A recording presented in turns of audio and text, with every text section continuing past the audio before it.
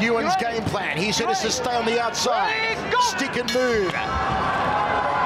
Look for the opportunities to exploit Gafurov when Gafurov wants to try and stamp his authority and leaves himself open, particularly to that overhand right. He landed it early. Michael snuck it in. Gafurov looked at him, shook his head, and said, let's go. Nguyen's corner believe that when Gafurov gets hit, he'll become frustrated. Oh, big right hand there from Gafurov and stuns Nguyen.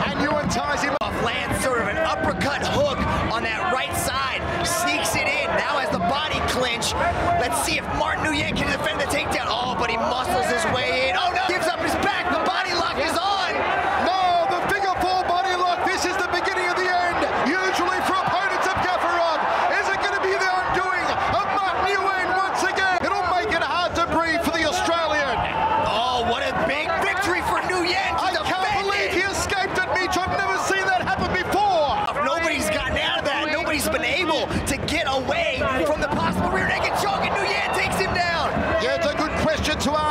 Is there a dent in the psyche now for a guaranteed the rear naked choke again? Patience now. Left hand from the Australian.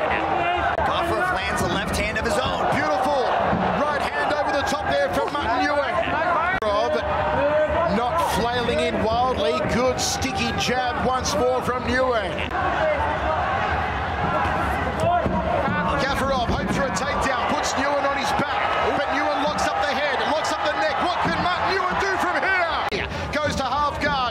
Side control. Knee from Gafurov.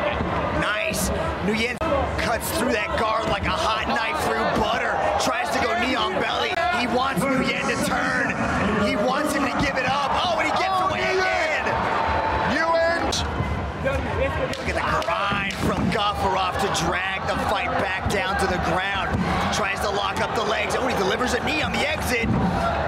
Nguyen does a quick count of his teeth after the knee, and that's how the first round ends. Flashy kicks because he's not scared to go to the ground, but that's exactly what he wants. He wants to take this fight to the ground. Choke, Michael.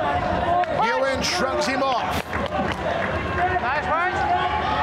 The chin a little high here on Gafurov. Now he puts the hands up. Can Nguyen capitalize? Maybe the jab to the overhand right. It's a bread and butter combination for the Aussie.